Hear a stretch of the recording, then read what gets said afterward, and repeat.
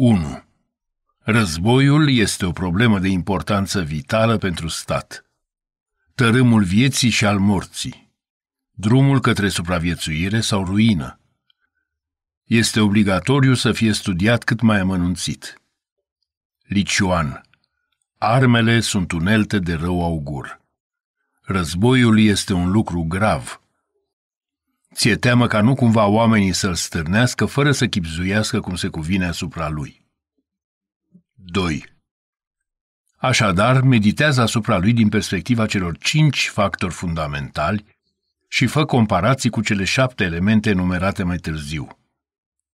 Astfel îi poți evalua punctele esențiale. 3. Primul dintre acești factori este influența morală, al doilea, vremea, al treilea, terenul, al patrulea, autoritatea și al cincelea, doctrina. Changyu Ordinea sistematică de mai sus este perfect clară. Când se strâng trupe pentru a-i pedepsi pe cotropitori, Consiliul Templului ia în calcul mai întâi dacă bunăvoința conducătorilor și încrederea maselor sunt suficiente. Apoi, dacă anotimpul este prielnic și în cele din urmă ține seama de dificultățile topografice. După o deliberare riguroasă asupra tuturor acestor chestiuni, este numit un general care să lanseze atacul. După ce trupele au trecut granițele, responsabilitatea pentru legi și ordine cade pe umerii generalului. 4. Prin influență morală înțeleg ceea ce îi face pe oameni să fie în armonie cu suveranii, astfel încât aceștia să însoțească în viață și în moarte, fără teamă de pericol. Chang Yu folosește aici o expresie al cărei sens literal este acela de a-i pedepsi pe criminali, expresie aplicată atacului rebelilor. Alte caractere au semnificații mult mai precise, cum ar fi a ataca pe furiș, a ataca pe neașteptate, a înăbuși răscoala, a reduce la tăcere. Chang Yu Când cineva îi tratează pe oameni cu bunăvoință, dreptate și integritate și când le arată încredere, armata va fi unită în spirit și cu toții vor fi fericiți să-și urmeze conducătorii. Dao de Jing Cartea schimbărilor În fericirea de a fi depăși dificultăți, oamenii uită de pericolul morții. 5. Când spun vreme, mă refer la interacțiunea forțelor naturii, efectele iernii geroase și ale verii călduroase și desfășurarea operațiunilor militare în concordanță cu anotimpurile. 6. Când spun teren, mă refer la distanțe, fie că terenul este traversat cu ușurință sau nu, fie că este deschis sau îngust, precum și la șansele la viață sau la riscul de moarte. Mei Yao Chen. Când conduci trupe, este esențial să știi dinainte care sunt condițiile terenului. Cunoscând distanțele, se poate concepe un plan de acțiune indirect sau unul direct. Dacă se cunoaște ușurința sau dificultatea traversării terenului, se pot estima avantajele implicării infanteriei sau a cavaleriei. Dacă se știe unde se îngustează și unde se lărgește terenul, se poate calcula forța necesară.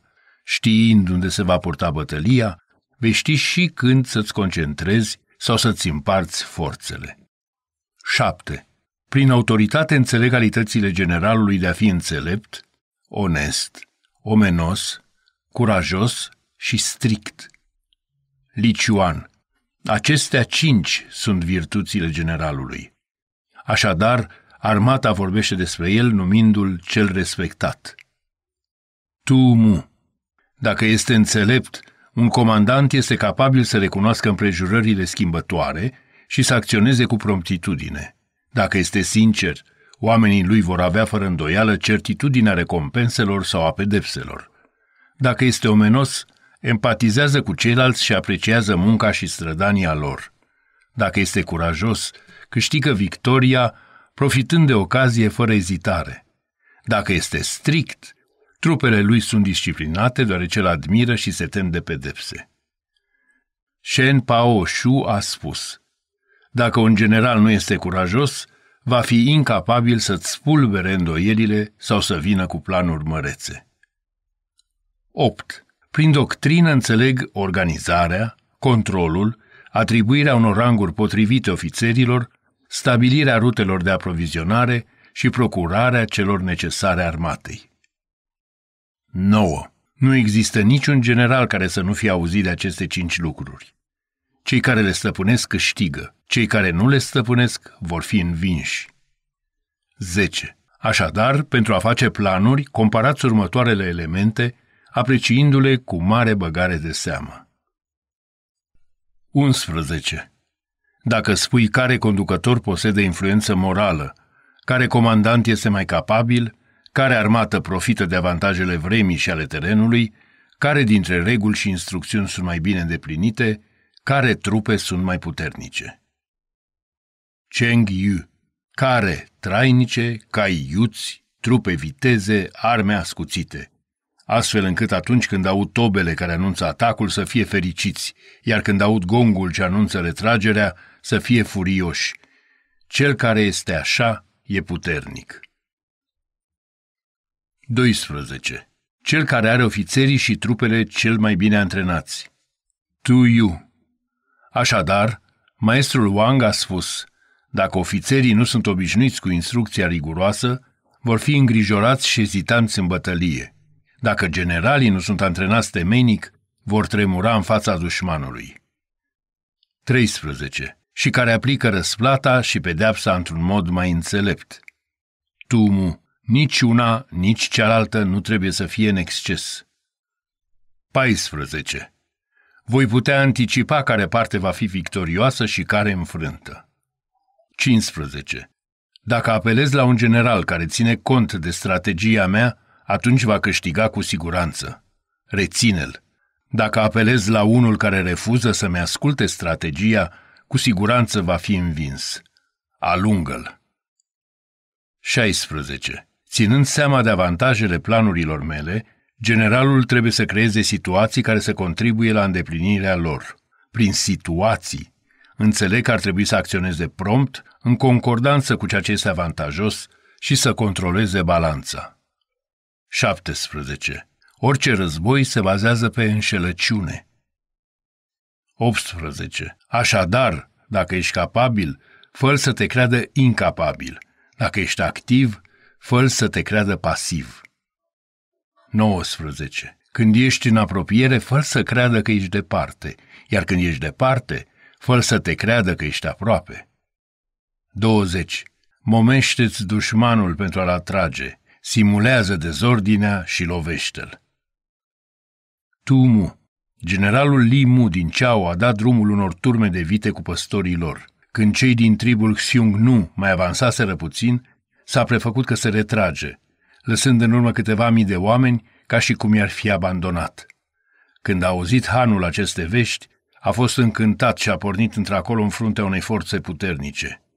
Limu și-a dispus majoritatea trupelor în formațiuni pe flancurile drept și stâng, a dat semnalul de atac, i-a zdrobit pe huni și a măcelărit peste o sută de mii dintre călăreții lor. 21. Când inamicul se concentrează, pregătește-te să-i ții piept. Când este mai puternic, evită-l. 22. Înfurie-i generalul și derutează-l. Liciuan. Dacă generalul este coleric, autoritatea sa poate fi ușor răsturnată. Nu are caracter ferm. Chang Yu. Dacă generalul este încăpățânat și predispus la furie, insultă-l și mânie-l ca să fie iritat și derutat și să se repeadă asupra ta cu nesăbuință, fără un plan. 23. Pretinde că ești inferior și încurajează aroganța. Tumu. Către sfârșitul dinastiei Qin, Motun din tribul Xiong nu a urcat la putere. Cei din tribul Hu din est erau puternici și au trimis delegați la negocieri. Aceștia au spus, dorim să obținem calul de o mie de li al lui Tu Ma. Motun și-a consultat sfătuitorii care au exclamat, calul de o mie de li, cel mai de preț lucru din țara asta, nu l da. Motun a răspuns, de ce aș furta pică unui vecin pentru un cal? Așa că a trimis calul. La puțin timp după aceea, cei din tribul Hu de Est au trimis emisari care au spus Vrem una dintre prințesele Hanului. Motun și-a întrebat sfătuitorii care i-au răspuns cu toți indignați. Cei din tribul Hu de Est sunt nedrepți. Acum cer până și o prințesă. Te implorăm, atacă-i. Motun a spus, cum ar putea cineva să-i refuze vecinului o femeie tânără? Așa că le-a dat femeia. La scurt timp după aceea, cei din tribul Hu de Est s-au întors și au spus, Ai o mie de lii de teren nefolosit pe care îl vrem noi. Motun și-a consultat sfătuitorii. Unii au spus că ar fi rezonabil să cedeze pământul, alții că nu. Motun s-a înfuriat și le-a răspuns, Pământul este temelia statului, cum ar putea cineva să-l cedeze? Tuturor celor care l-au sfătuit să facă asta li s-a tăiat capul. Motun a sărit apoi pe cal, a poruncit ca tuturor celor rămași în urmă să li se taie capul și i-a atacat prin surprindere pe cei din tribul Hu de Est. Aceștia din urmă îl disprețuiau și nu se pregătiseră. Când i-a atacat, i-a anihilat. Apoi, Motun s-a întors către vest și a atacat tribul Yuehti. La sud a anexat Fan și a invadat Yen. A redobândit toate pământurile străvechi ale tribului Xiong Nu, care fusese răcucerite anterior de generalul Qin Meng Tien. Chen Hao, dă dușmanului băieți și fete ca să iei mințile, cai și mătăsuri ca să-i atâți ambițiile. Ascultă acest audiobook alături de sute de alte titluri în română și engleză pe voxa.ro. Gratuit și nelimitat pentru primele 15 zile.